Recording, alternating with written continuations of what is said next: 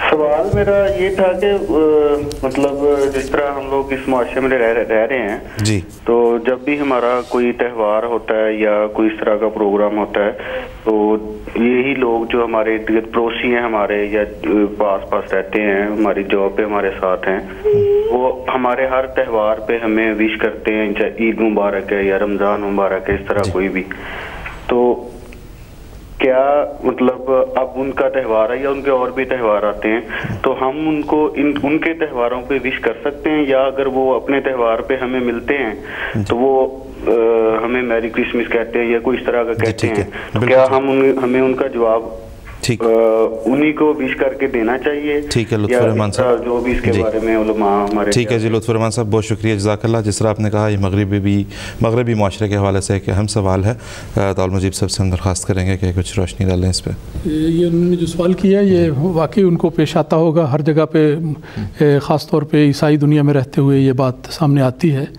लेकिन इसके जवाब में मैं ये कहना चाहता हूँ सबसे पहले कि देखें हम रहमतुल्लिल के पैराव और आपके मानने वाले हैं।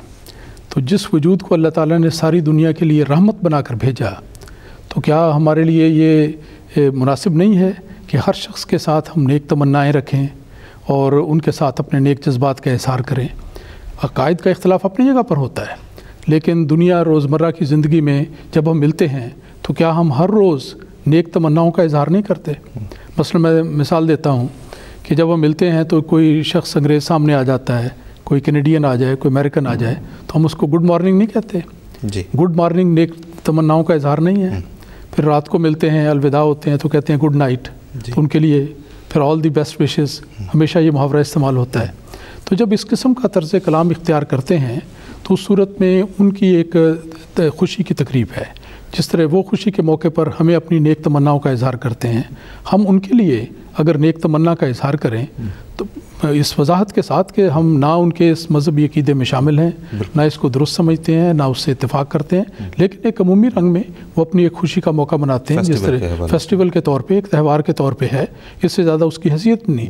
वैसे भी आजकल के दौर में इसको मजहबी हैसियत से ज़्यादा एक समाजी और सोशल हैसियत दे दी गई है। एक खुशी का मौका है तो उस मौके पर अगर हम उसके रहते हुए उनके साथ खुशी का इजहार करें तो इसमें तो कोई मज़ाक नहीं होना चाहिए। बस सिर्फ़ ये होनी चाहिए कि मुदाहनत का तरीक नहीं होना चाहिए कि गोया वो अगर जो कहें उस तरह कर लें जैसे मसलन अगर उनकी पार्टीज़ होती हैं उसमें ऐसे वो सॉन्ग्स गाते हैं ऐसे नगमे पढ़ते हैं जो तसलीस के प्रचार का प्रचार करते हैं तोहीद के ख़िलाफ़ हैं तो हम सिर्फ़ मुदाहनत के ख्याल से कि इनको खुश करना है तो उनके साथ शामिल हो जाएँ हरगिज़ इस बात की इजाज़त नहीं होती। हमें अपने जो बुनियादी असूल हैं उन पर कायम रहते हुए लेकिन एक बुनियादी तालीम यह भी है कि दूसरों के साथ अपने पड़ोसी हों दूसरे हों रफ़ाक़ाए कार हों उनके साथ नेक जज्बात होने चाहिए। तो उस मौके पर अगर नेक जज्बात का इशार मुनासिब रंग में किया जाए इस पूरी अंडरस्टैंडिंग के साथ कि हम उनके अकायद में शामिल नहीं लेकिन उनकी जो सोशल खुशी है एक त्यौहार है उसमें शामिल होते हैं तो इसमें तो कोई मुजायका नज़र नहीं आता। जी ठीक है। बहुत शुक्रिया मौलाना ताल मुजीब राशिद साहब जजाकल्ला